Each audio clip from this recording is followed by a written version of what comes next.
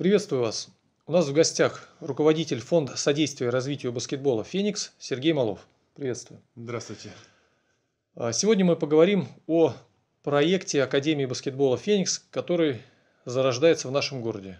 И возглавляет этот проект Сергей Малов. Расскажи, пожалуйста, что это за проект и к чему, мы движ... к чему он движется? А, проект сам, сама идея зародилась, э, наверное, года 3-4 назад, даже 4 уже, наверное. А, после оценки ситуации э, в Санкт-Петербурге в женском баскетболе, а после анализа общероссийской ситуации в женском баскетболе, какие есть институты, какие есть школы, кто занимается активно баскетболом у девушек, подготавливает поколение профессиональных баскетболистов и как. Проанализировав это, было принято решение создать структуру, назвали мы ее Фонд содействия и развития баскетбола «Феникс». Было принято решение родителями молодых игроков, э, собственно, для того, чтобы внести свой посильный вклад, свою посильную лепту в дело развития баскетбола. Ну, э, сама идея э, о том, чтобы создать Академию баскетбола, она уже родилась несколько позже. Когда начались первые действия фонда, первые мероприятия фонда, которые были направлены на работу с детьми. И э, Академия баскетбола дала возможность э, стать результатом вот этой работы, сама идея о создании Академии баскетбола. Но, опять же, все, что касается самой Академии баскетбола в ее в э, полном осознании, это прежде всего база база, залы, а, возможность э, принимать команды э, из других городов и стран э, на своих мероприятиях. Такого, к сожалению, сейчас у нас нет. И похвастаться полноценным комплексом, который бы смог для детских целей, детских мероприятий приводить принимать такие команды и турниры у себя непосредственно на базе, таких возможностей у Петербурга, к сожалению, нет. И шаг за шагом э, фонд начал работу над тем, чтобы найти сначала э, участок земли и на нем реализовать вот этот проект. А что под этим проектом подразумеваю я? А, это, так скажем, э, предложение городу, в котором основной детский спорт ориентирован на государственные бюджетные учреждения, а новой модели, в которой э, главным игроком будет играть э, главным игроком будет общество, граждане Санкт-Петербурга. А именно поэтому фонд является общественной организацией, не коммерческой организацией, именно общественной организацией, в которой Э, есть возможность реализоваться каждому гражданину э, в, на пути вот, э, по помощи и развитию детского баскетбола. А эта идея объединяет в себя следующие модели, которые мы изучили из спортивного мира. Это модель студенческого баскетбола NCAA, Э, это модель эм, спортивная, спортивный клуб «Барселона», испанский клуб, который включает на сегодняшний момент в себя и футбол, и баскетбол. И это модель Манчестер Юнайтед, футбольный клуб. Э, но э, вот эти три модели, они по-своему характерны.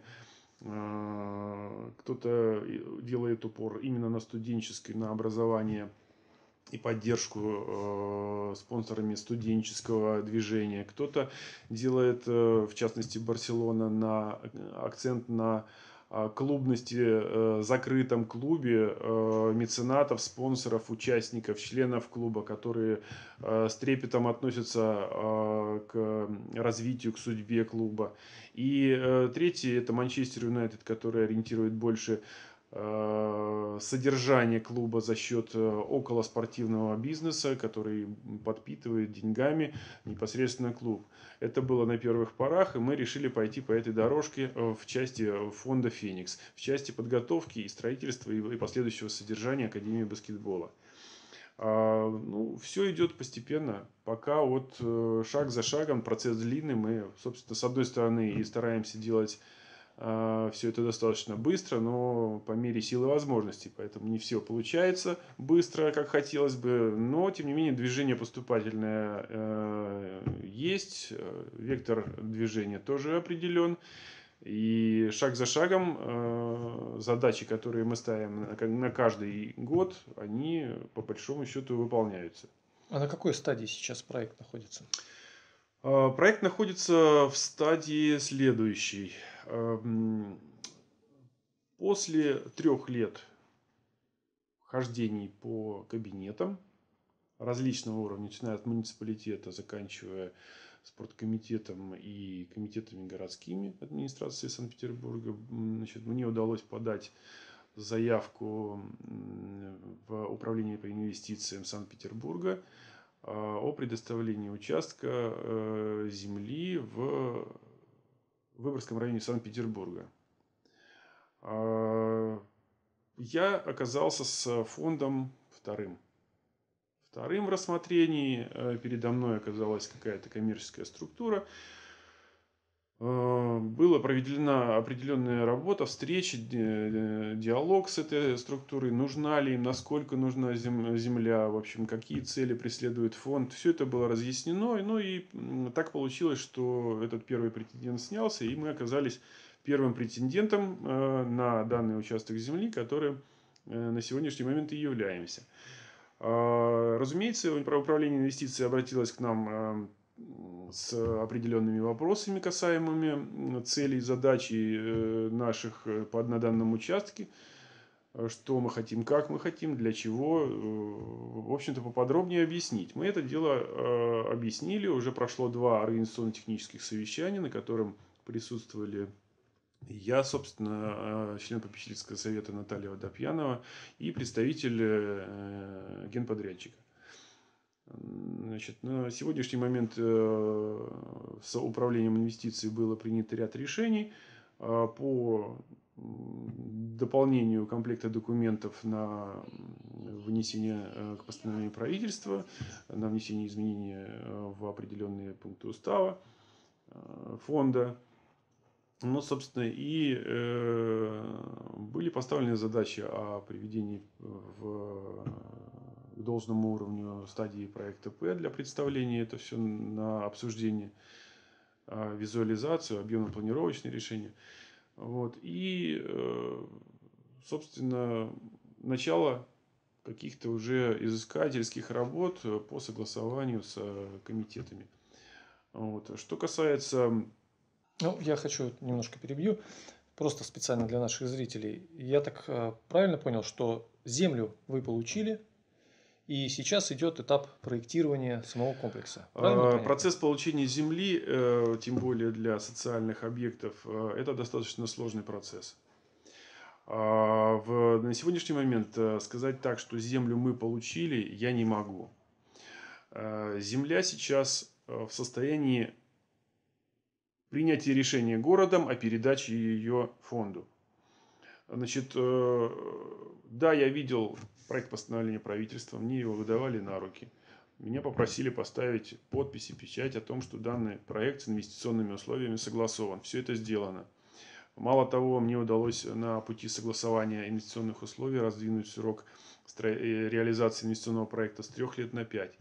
На пять это связано опять же с э, ускоренным запуском первой очереди, чтобы можно было уже использовать полноценно первый зал Академии. Э, собственно, согласовали инвестиционные условия, согласовали постановление правительства со своей стороны. Но для того, чтобы э, данный документ э, вышел в свет и вышел на обсуждение непосредственно правительства, необходимо подготовить комплект документов, чем мы сейчас являем, занимаемся. К примеру, внесение изменений в устав требует прохождения Министерства юстиции – а это длинный процесс, к сожалению, на практике получается, что занимает в районе двух-двух с половиной месяцев.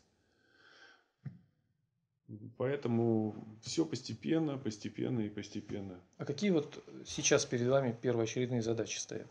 Первоочередные задачи, э, ну, собственно, с уставом мы уже разобрались, он в процессе ожидания Минюста.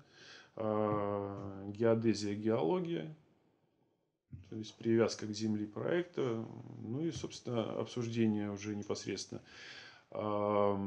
процесса формирования консорциума соинвесторов, которых э, мы на сегодняшний момент собираем.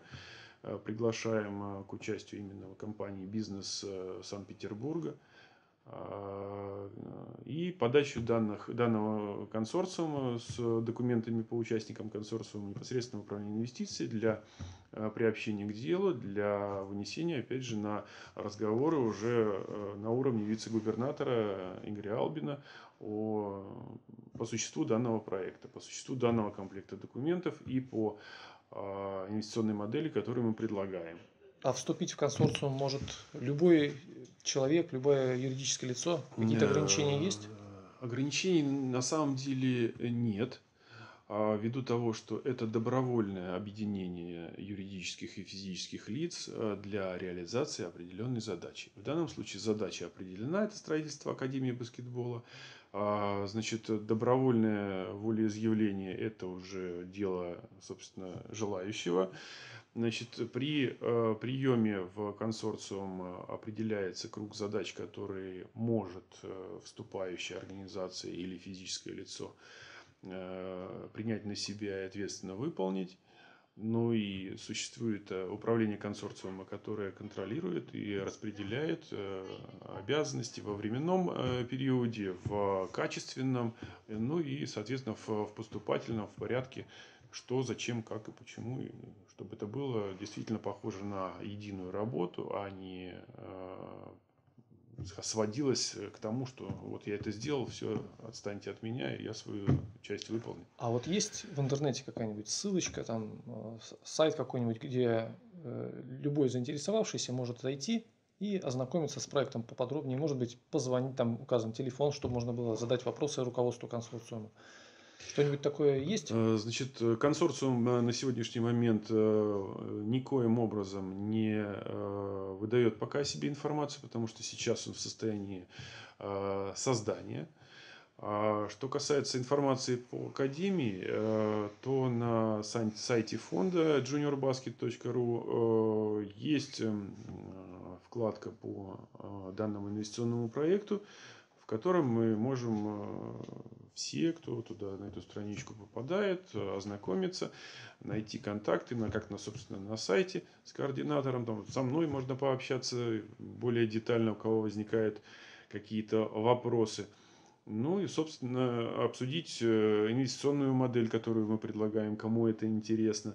А, и про горизонт планирования, и по окупаемости, и по основные ключевые экономические показатели пообщаться можем по доходной составляющей. То есть, ну, вот, вот такие вопросы, они, ну, скорее на сайте их все не отразить.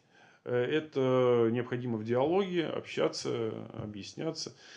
Ну, собственно, где-то так. Ну, мы под роликом повесим ссылочку со всеми контактами. Если у кого-то возникнут вопросы, то звоните Сергею, задавайте вопросы, носите предложения. Я думаю, что рассмотрите с интересом. Безусловно, любая поддержка – это большой плюс для города. Ну вот, все. Благодарю. Спасибо.